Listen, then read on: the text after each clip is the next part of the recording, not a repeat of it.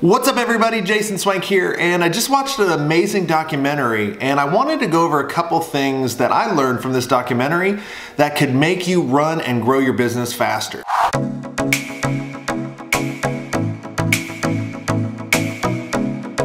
I just watched a great documentary on this punk kid that everybody was talking about that was creating these amazing movies. And as a young kid, he just wasn't interested in school. He was actually a bad student because it didn't interest him. All his attention wasn't on school, it was on making movies. Now I'm talking about Steven Spielberg, and when he was 20 and up and coming and everybody was talking about how good he's going to be, one of the best directors of the time came up to him and said, Steven, I have a big secret to tell you. When you're directing a scene and you have no earthly clue of what's going on or what you need to be doing, Keep it a secret. Don't let anybody know. Fake it, or people are going to lose confidence in you. And he said, Look, this happens all the time. It happens to all of us.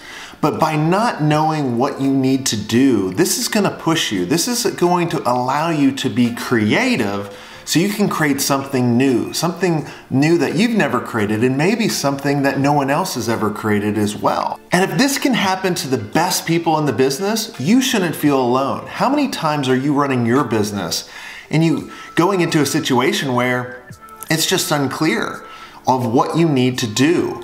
Don't let your team know this. Don't let the outside world know you have a lack of confidence or a lack of direction to do this.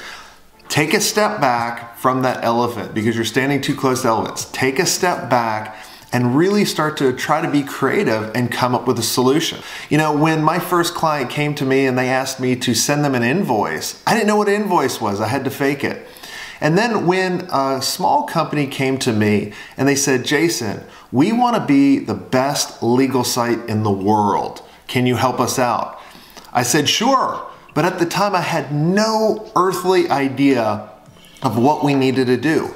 But I went back to the office, I thought for a long time, and it forced me to be creative and that company is now called LegalZoom. Look, if you knew everything and everybody knew everything, everything would look the same.